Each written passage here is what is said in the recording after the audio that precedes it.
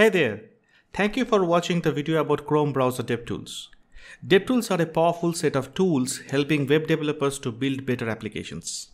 In this video, we will learn about a cool tool called Recorder Panel.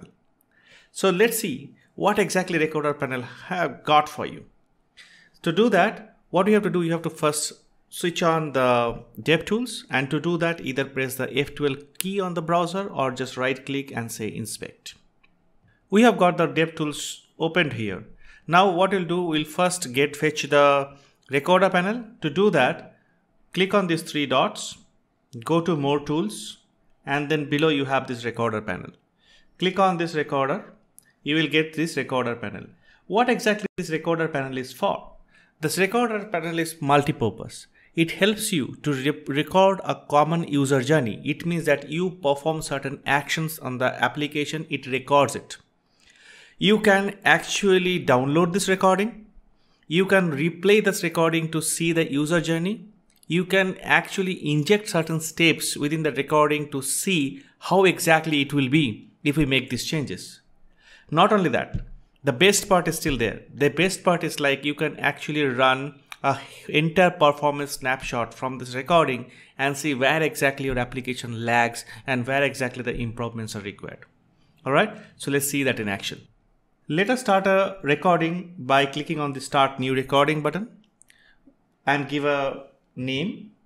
We'll give say Bugfender and click on this button to start new recording. The recording has been started now we'll start interacting with this application. I'm scrolling. At the right side, you see that scroll is getting recorded. Then what we can do is like, I can probably go ahead and click on this menu and say uh, blogs. And if we go to the blogs page, you see that it is still recording the click event now. Now I can actually go inside different blogs that are coming up. See bunch of blogs over here. Let's click on one of these blogs. Still it is recording. It's keep recording. I get inside one of the blog. And i'm scrolling. It is still again recording each of these pieces. So enough of recording. Let's end this recording and see what exactly is created. So ending this recording. This recording is now saved.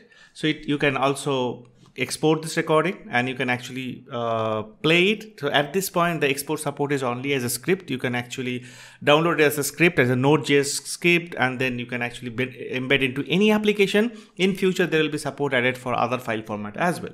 You can replay the recording to see the entire application, how exactly it runs. So replay this recording will take you through in entire application journey and it will run through.